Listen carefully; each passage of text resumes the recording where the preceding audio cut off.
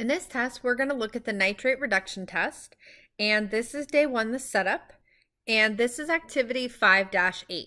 So the purpose of the nitrate reduction test is to determine whether bacteria can use nitrate, NO3 minus, as the final electron acceptor during anaerobic respiration. And so when we did our oxidase test, the oxidase test, remember, was looking at if oxygen is used as the final electron acceptor during aerobic respiration. And so now we're switching gears to anaerobic respiration, where oxygen is not the final electron acceptor. And in this test, we are looking at if nitrate can be the final electron acceptor. So this experiment would be done in groups of four, and you would use a, a loop to inoculate a nitrate broth.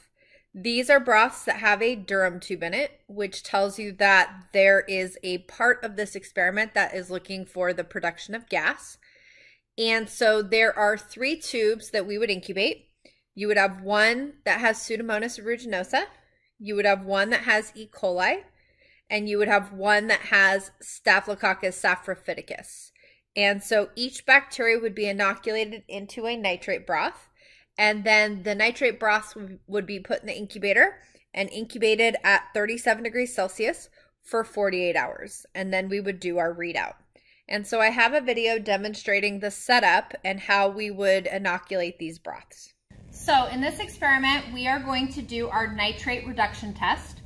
And so there are three organisms that we would test for this experiment we would test, one of them would be E. coli. That's the one that I'm gonna demonstrate the technique for the setup. But basically what we're doing in this test is we wanna know, do bacteria use nitrate, NO3 minus, as the final electron acceptor during anaerobic respiration? And so I have my nitrate broth, and notice that in my nitrate broth, you can see a little glass tube in there. You might recall that those little glass tubes are called Durham tubes. And the Durham tube, remember, is to detect the production of gas. So we will see if gas is produced during this reaction. So here is my sterile nitrate broth. I would label this tube. It's a broth, so I'm going to inoculate with my loop. So I'm going to flame sterilize my loop.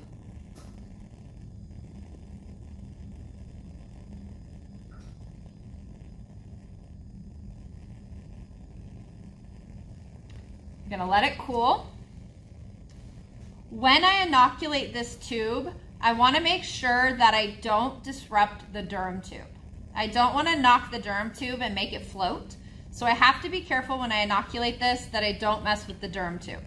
So here's my tube that has my slant, that has my bacteria on it. I'm gonna flame. I'm gonna go in. I'm going to pick up some bacteria, flame it, cap back on. Then I'm going to inoculate my nitrate broth. Flame it. Add it to the tube, but be gentle not to disrupt your Durham tube. Flame it, cap, and then flame sterilize my loop.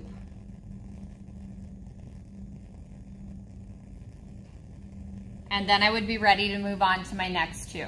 And so I would end up having three tubes, and once I have inoculated all three organisms, then I would take these and I would put them in the incubator to do the readout after 48 hours. And so that is our setup for our nitrate reduction test.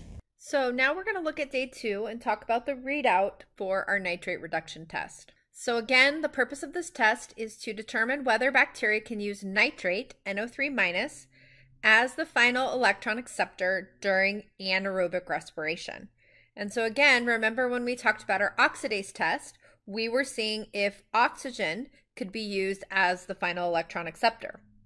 But during anaerobic respiration, oxygen is not the final electron acceptor.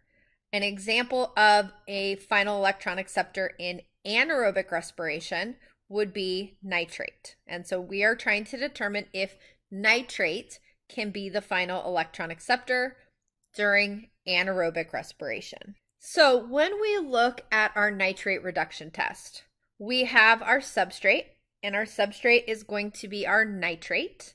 and nitrate is in the media. It's in our broth, and so this is our substrate. And so when we talk about our nitrate reduction test, we need to review about our redox reactions. And so you might recall that I told you about oil rig. So oxidation is a loss of electrons. And remember I said you could follow that by a loss of hydrogen. You can also look at oxidation as a gain of oxygen. So oxidize gains oxygen. And so if you see the number of oxygens increasing, that would be an oxidation. Reduction, remember, is a gain of electrons or a loss of oxygen. oxygen. So they're inversely related, right? So if we gain electrons, we lose oxygen. So if we look at our redox reaction for our nitrate reduction test, notice that my substrate is nitrate and my enzyme in this case that we're testing, the enzyme is called nitrate reductase. This is an endoenzyme. It's inside the cell. Just like when we looked at oxidase, oxidase was also a endoenzyme. Nitrate reduction is an endoenzyme as well. And it's going to become reduced, nitrate is going to become reduced, meaning it gains electrons because it's gaining electrons from the electron transport chain. It's what's going to pull the electrons from the electron transport chain. And so nitrate becomes reduced and it forms what's called nitrite. So notice that there's an I here instead. Nitrite is our product, NO2 minus. Notice that it lost an oxygen. This is a reduction. So nitrate is being reduced to nitrite. So nitrite is going to be our product. And this is going to be detected by our reagents in this test, which will be our reagents A and B, which we will talk about in a minute. Now, some organisms will stop. They will reduce nitrate to nitrite, and that will be your final product. However, other organisms will do what's called a full reduction. They will reduce nitrate fully meaning they're not going to stop at nitrite, they will continue to reduce that. One type of full reduction is what's referred to as ammonification. And during ammonification, the product is going to be ammonium, NH4 plus. Notice going from nitrite to ammonium is both losing oxygen and gaining hydrogen. Notice that's why this is a reduction. So this is going to be a reduction and that's going to produce ammonium. That's one option. So some bacteria will do ammonification. They will pr- produce ammonium as their product. Other bacteria will do a process called denitrification. And so they will reduce nitrite to nitric oxide, to nitrous oxide, and molecular nitrogen. Don't worry about these redox numbers don't worry about that. Okay. Just know that nitric oxide, nitrous oxide, and molecular nitrogen, these are all nitrogenous gases. They're all gases. They're going to be released as these nitrogenous gas.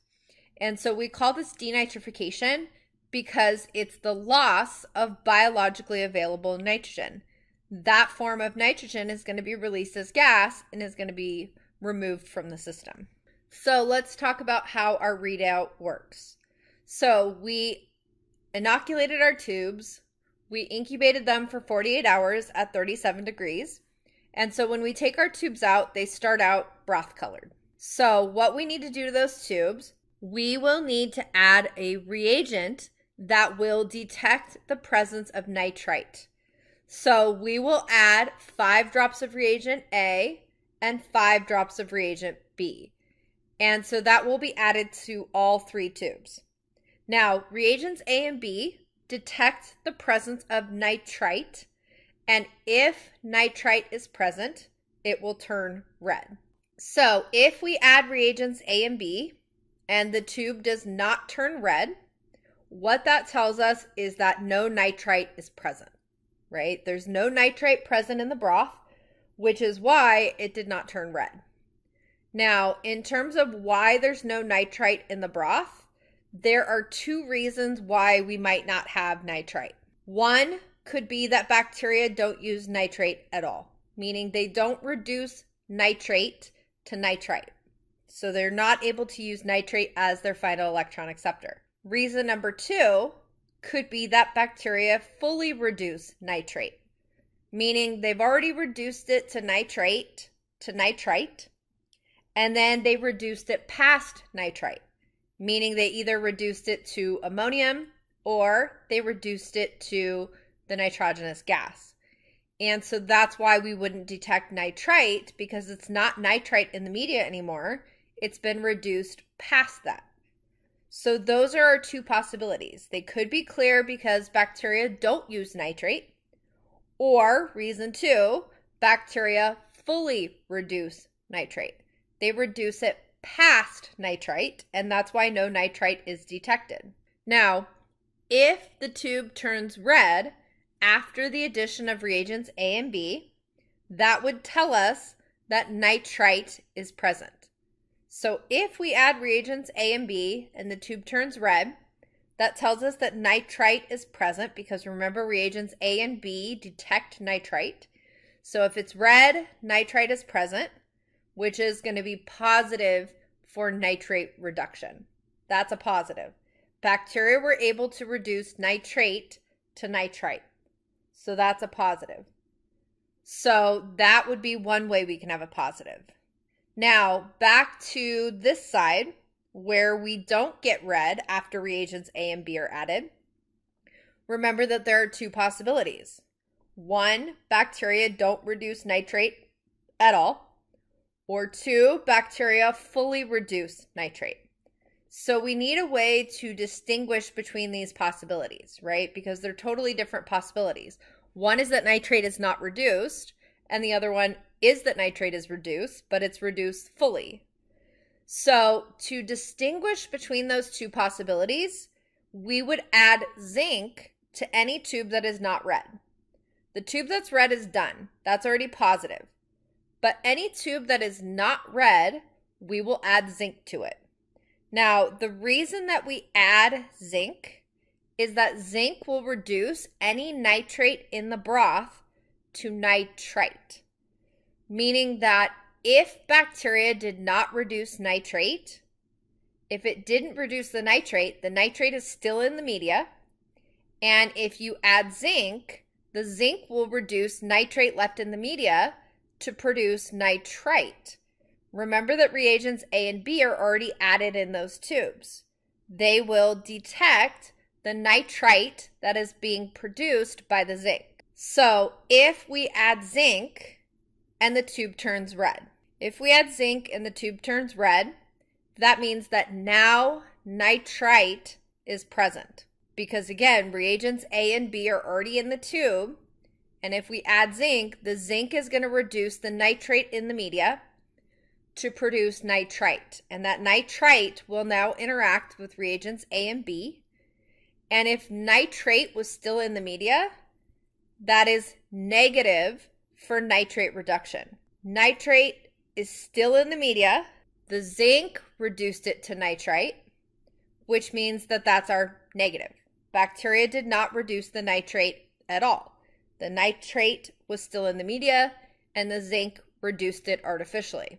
Now, if if we add zinc and it still stays broth colored, that means that in that case, there's no nitrite present, right? No nitrite present. And so what that means is that there's no nitrate left in the media because if there was, the zinc would have reduced it to nitrite.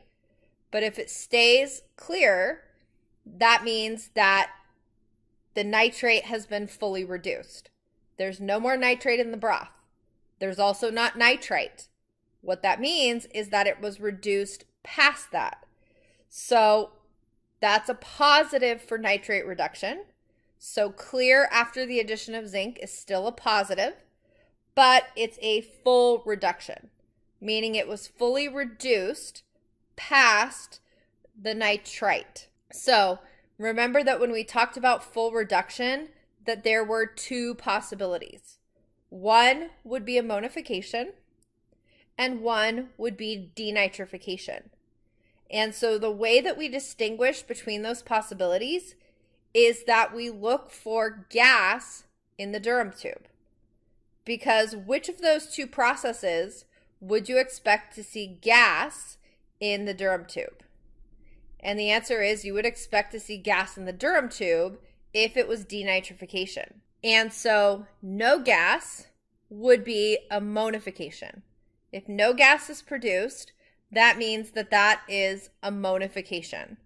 So ammonium was produced in that tube. If there is gas in the Durham tube, that is going to be denitrification. Bacteria reduce the nitrate fully and produced the nitrogen gases.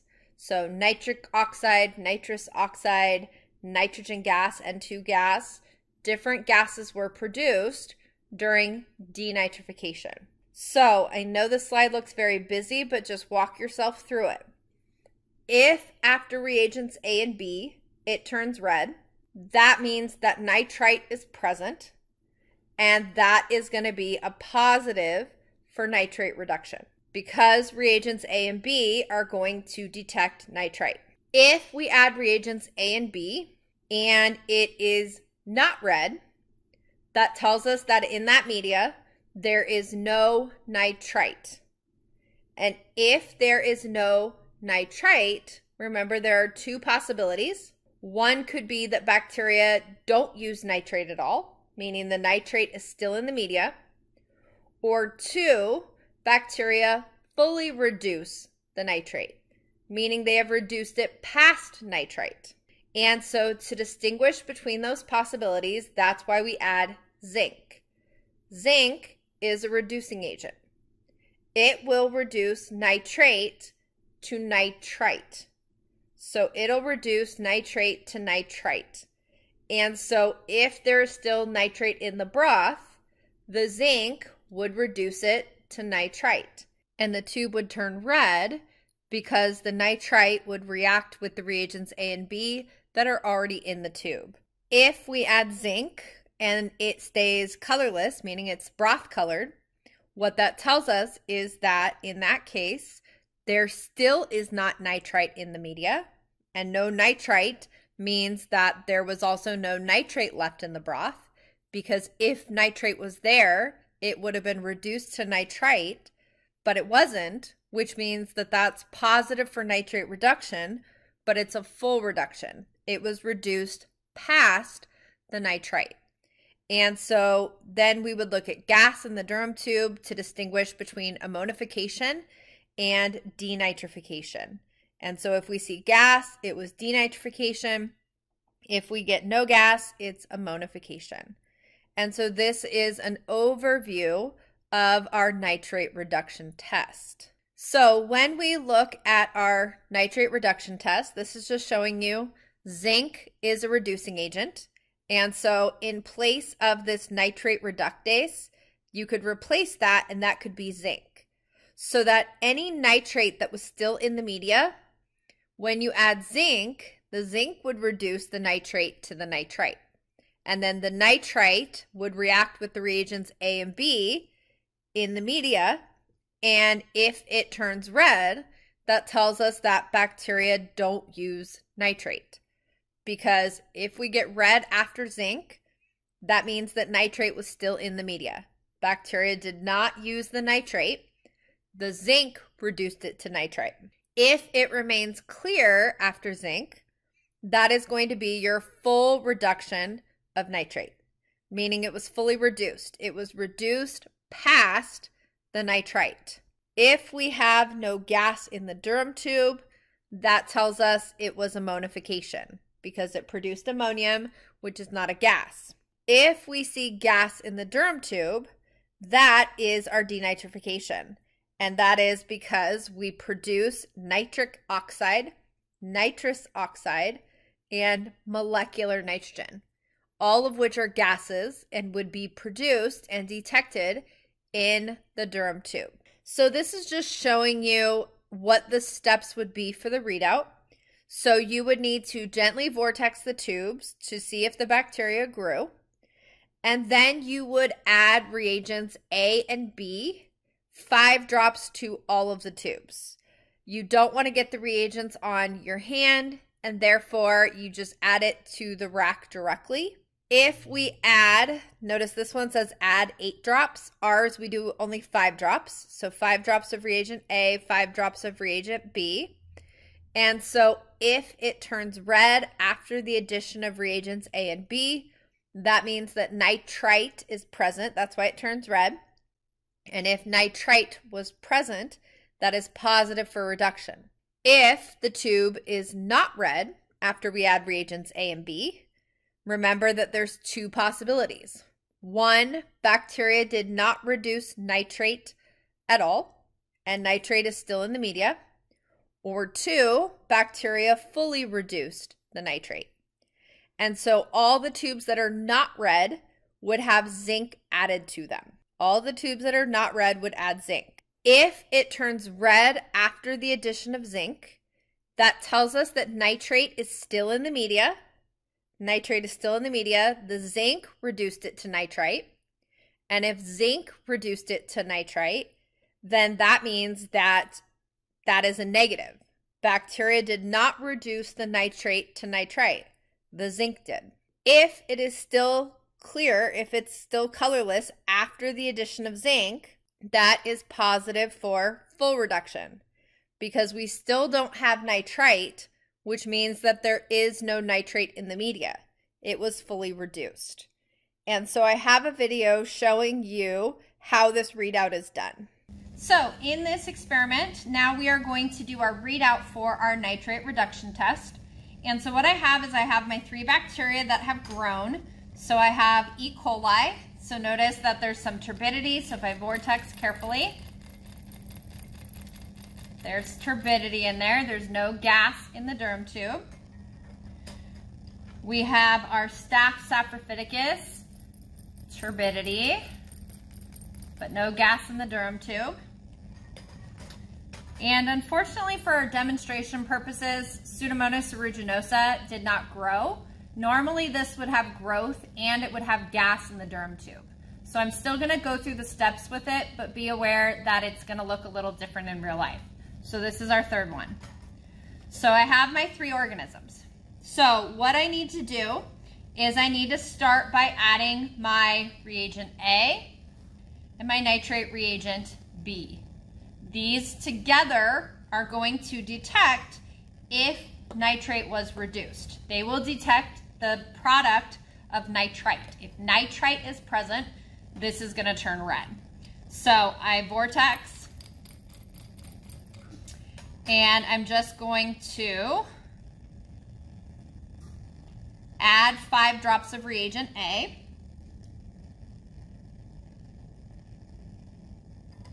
And I'm going to do the same for all three.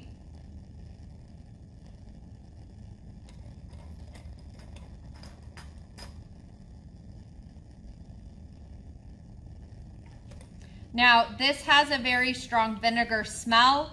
You don't want to hold your tubes in your hand when you do this in case you get the drops on you. It's better to just leave them in the rack while you add the drops.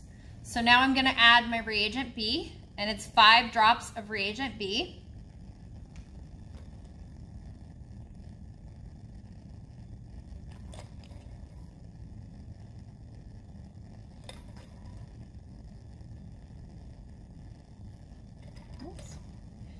All right, so I added my reagents A and my reagents B. Let me get a chem wipe. I got a little bit of a drop on the lid. All right, so notice for E. coli, I can already see the red forming. So what that means is that reagents A and B will detect the presence of nitrite. So in the broth was originally nitrate, and if nitrate was reduced to nitrite, the reagents A and B would detect that and turn red. So for my E. coli, it is positive for nitrate reduction. So it's red, So we know that one's positive. Now, for my Staph saprophyticus, notice that the tube is not red, nor is the Pseudomonas aeruginosa. We don't expect this one to be red either. So we have two tubes that are not red. So when this experiment, after we add reagents A and B, we are not done because there are two possibilities for why this did not turn red. One reason would be that nitrate was not reduced, meaning there's still nitrate in the media, and that nitrate could be reduced by an artificial means, meaning zinc, to produce nitrate. So one possibility is that nitrate was not reduced at all. Possibility number two was that nitrate was reduced to nitrite, but then it was reduced further. And there are two possibilities for that. One is referred to as ammonification. Ammonification, you're not going to have gas in the Durham tube. And denitrification is going to produce nit uh, nitrogen gases, and that would have gas in the Durham tube. So the two possibilities are nitrate is not reduced at all, or nitrate is fully reduced, meaning it's already gone past nitrite, which is why we don't detect nitrite, and it's gone past that point, and it's gone to either ammonium or nitrogen gases. So we need a way to distinguish between those two possibilities. So the way that that's going to be done is we are going to use zinc. Zinc is a reducing agent. What this will do is when we add zinc to the tubes, if nitrate is still in the broth, so if nitrate is still there and I add zinc, the zinc is going to reduce any nitrate in the broth to form nitrite. And if the zinc reduces it to form nitrite, we already have reagents A and B in this tube. And so it's going to turn red. So if it turns red after the addition of zinc, that is going to be a negative. Because what that tells us is that the nitrate was still in the broth and that the zinc reduced the nitrate to nitrite. So that means that the nitrate was not reduced. The nitrate was originally in the broth and the bacteria did not reduce it. The zinc reduced it, but the bacteria did not. If I add zinc and it still stays clear, it does not turn red, then our conclusion would be that it is fully reduced, meaning there's still no nitrate in the broth, because if nitrate was still in the broth, the zinc would reduce it to nitrite and it would turn red. So there's still no nitrate in the broth. There was no nitrite, so it tells us that it was fully reduced. So it was reduced past the form of nitrate.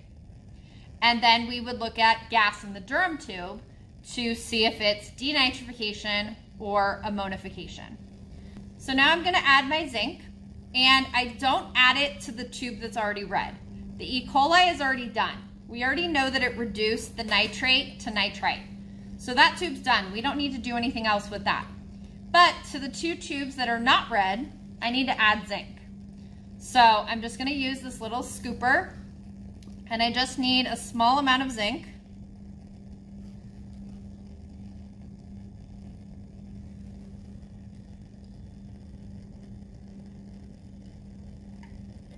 and I add it. And then I'm going to repeat the same thing for the second tube.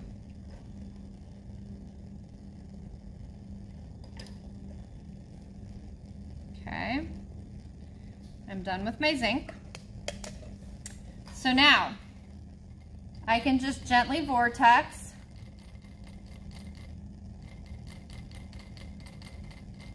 and sometimes this takes a minute for it to show up.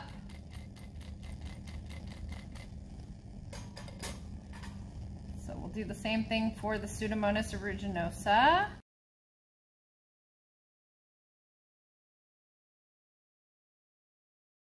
So you can see for the Staph saprophyticus, you can see the tube is starting to turn pink. It's starting to turn red. That's because the nitrate was still in the media. the zinc is now reducing it to nitrite, and the nitrite that's now forming is reacting with the reagents A and B that were already in there. So what that tells us is after the addition of zinc, if it is red, after the addition of zinc, that's a negative. That means that the nitrate was not reduced. The nitrate was still in the media and the zinc reduced it to nitrite. Now, notice for Pseudomonas, this one is turning red. Normally, that is not the case. Normally, this, if we did this experiment with Pseudomonas, it would stay clear throughout, meaning it won't turn red, and there would be gas in the Durham tube. But because Pseudomonas did not grow, this is, you can treat this like an uninoculated control. Because Pseudomonas did not grow in this tube, notice that the broth is turning pink. Because again, the nitrate is still in the media and the zinc is reducing the nitrate to nitrite. So if you did this experiment with an uninoculated tube, meaning one that had no bacteria, you would get the same result. This is essentially an uninoculated um, tube. It did not grow bacteria, and therefore this is why you see this. But normally, Pseudomonas would be clear throughout, which means if it's clear throughout, that means that the nitrate, um, the nitrate was fully reduced because it still didn't, didn't detect nitrite. So our results would be E. coli is positive for nitrate reduction. It reduced nitrate to nitrite. Our staph saprophyticus would be negative for nitrate reduction. It does not reduce it at all, meaning that instead, when we added reagents A and B, we did not get a color change. But when we added zinc, it turned red because the zinc reduced the nitrate still in the media and it formed nitrite. And that means that the nitrate was still in the media. So staph saprophyticus would be our negative. And again, normally for Pseudomonas aeruginosa, this tube would be clear throughout and it would have a gas bubble in the Durham tube. And so this tube would be positive for full reduction and it would be denitrification because there would be gas in the Durham tube. And so this would be how we do our readout for our nitrate reduction. So now let's look at the results of our experiment and talk about what the different results mean. If we were to give you this on a lab practical, we would have to tell you what was added to the tube. Because notice that E. coli and Staph saprophyticus are both red, but the interpretation is very different depending on what reagents were added. So for example, if I look at this table, here's E. coli, and it says after the addition of reagents A and B, it was red, but no zinc was added. So if it turns red after the addition of reagents A and B, what that means is that reagents A and B detected nitrite and therefore it is positive for nitrate reduction, right? E. coli reduced the nitrate to nitrite and the nitrite would react with the reagents A and B and it turned red. Now, this chart shows us that Staph saprophyticus and Pseudomonas aeruginosa were both clear after the additions of reagents A and B. And so remember that if they're both clear, there are two possible explanations. One, that the bacteria did not reduce the nitrate at all, meaning nitrate is still in the media. Or option two, bacteria fully reduced the nitrate to nitrite and then past nitrite, which is why there's still no nitrite present. So, to the two tubes that were not red after reagents A and B, so for Staph saprophyticus and Pseudomonas aeruginosa, zinc was added to the tube. And when zinc was added to the tube, the Staph saprophyticus turns red and the Pseudomonas aeruginosa stays clear. Now, be aware in the video that I showed you, the Pseudomonas turned red, but again, that was because the bacteria did not grow this is the actual result. What you're seeing on the slide is what that result should look like. So Staph saprophyticus turns red after the addition of zinc. Pseudomonas aeruginosa does not. So for Staph saprophyticus, it turned red which means that now nitrite is present in the media, right? Now we have nitrite. And what that means is that for Staph saprophyticus, it did not reduce nitrate to nitrite. The zinc reduced the nitrate in the broth and produced nitrite. And that's why it turned red. So if the nitrate is still in the broth, that is negative for nitrate reduction. The bacteria did not reduce the nitrate. The zinc reduced it to nitrite, but the bacteria did not. And then lastly, we have our Pseudomonas aeruginosa, where it is still colorless after the addition of zinc. So that means that we still do not have nitrite in the tube, which means that it was fully reduced. So that would be positive for full reduction. Now, notice that if we look in the Durham tube, we have this gas in the Durham tube. That gas are those nitrogen gases. Could be nitrous oxide, nitric oxide, molecular nitrogen, but basically, the gas in the Durham tube tells us that it's denitrification.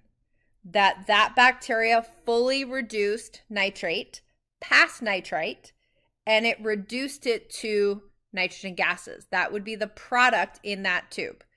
That tube would have nitrogen gases. And so this would be our readout for our nitrate reduction. And the next thing I'm going to do is I want to show you the question sets and some of the questions so that you can work on answering those before our discussion. So before our discussion, I would like you guys to attempt to answer some of the questions from the question sets. So question number 50 says, explain thoroughly each of the following results in the experiment. So part A says, after incubation, turbid nitrate broths turn red when reagents A and B are added. And so you want to be thorough. Do not just say I'll help you with A. Don't don't just say that's positive. You don't want to say that. You need to be more specific. If it turned red after reagents A and B are added, that is positive for nitrate reduction. And it turned red because bacteria reduced nitrate to nitrite and reagents A and B detected nitrite. So be very specific. So for the rest of these, you're going to do the same thing. After incubation, turbid nitrate broth does not turn red when reagents A and B are added. What does that tell you? What are the possibilities for why it did not turn red? A turbid tube that did not turn red when reagents A and B were added turns red when zinc is added. A turbid tube that does not turn red when reagents A and B were added does not turn red when zinc is added. And notice there's no mention of gas in a Durham tube. And then E, there is gas in the Durham tube after incubation with a non fermenting organism. Now, what that means, why we're saying non fermenting, meaning that it's not that gas is not due to the fermentation of sugar, for example. It's actually due to gas from the nitrate reduction pathway. Now, the other questions I want you to work on before is questions 51 to 53. 51 says, What result should an uninoculated control tube, meaning there's no bacteria added to it, what result would you get with an uninoculated control tube when reagents A and B are added and why? So think about it. In the media is nitrate. If there's no bacteria and you add reagents A and B, do you expect it to be red or colorless and why? 52. What results should the uninoculated control tube give when only zinc is added, meaning no reagents A and B, only zinc is added, and why? And then 53, what result should the uninoculated control tube give when reagents A and B and zinc are added, and why? So, again, what color would that be and why? And so, explain those thoroughly, and then we will discuss those in our lab Zoom.